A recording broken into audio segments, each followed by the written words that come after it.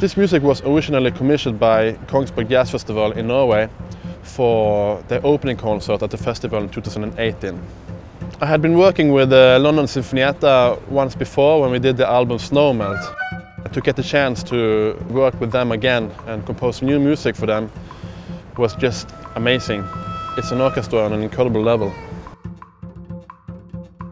When I started composing on Viaduct, I had one piece of paper where I notated um, 11 different notes. And these uh, 11 notes became the main ID for all parts in the whole piece, which was very exciting because it kind of limited me in a great way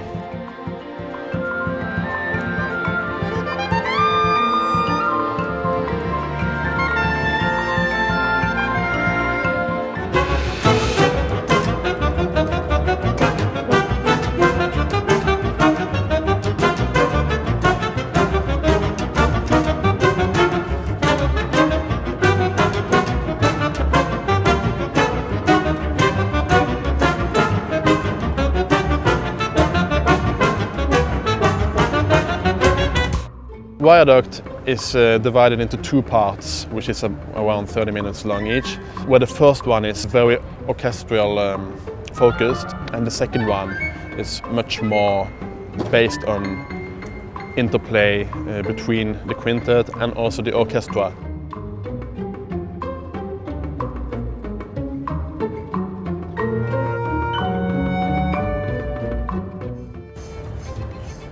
When I was asked to do this, I uh, knew straight away that I wanted to have uh, Anton Eger on drums, Ivo Neame, piano, Petter Eldh on bass, and Jim Hart on marimba and vibraphone.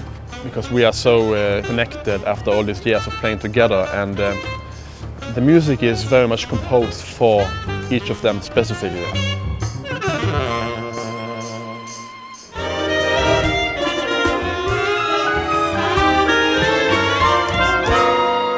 Spent one year on composing this and uh, during that time I was very influenced by Olivier Messiaen, uh, Bartok, Stravinsky, Joe Zawinul and Gustav Mahler. I think this music is somewhere between improvised and modern contemporary classical music. And I've been working with conductor Geoffrey Paterson before and he has an incredible understanding of this which is just very helpful and he gets incredible music out of this.